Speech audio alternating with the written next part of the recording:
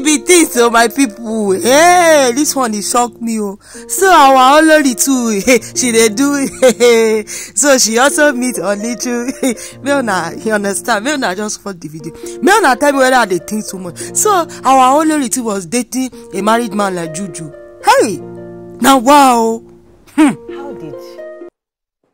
And a king spot you like this, as beautiful as you are? Where was he standing? Abeg, Where he spotted you? me- Is it that on the was roof it- like Oh, that, you don't help us once I didn't spot ask you you? question. How can Is you not spot you, fine girl like you? I mean, wait, was it that you went to a club, you met him, or you went to a party, you met or hmm. somebody? I mean, I'm wondering, Oh.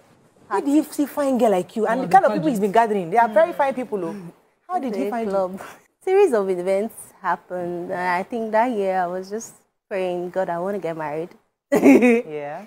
and somebody just called me one day and said, "Do you want to get married?" I was like, "What happened?" No. and the guy said, uh, "Would you like to get married to Oni of Ife?" I was like, "Huh? What's that?" and he was like, "For real, for real." I was like, "Don't joke." And then introduced me,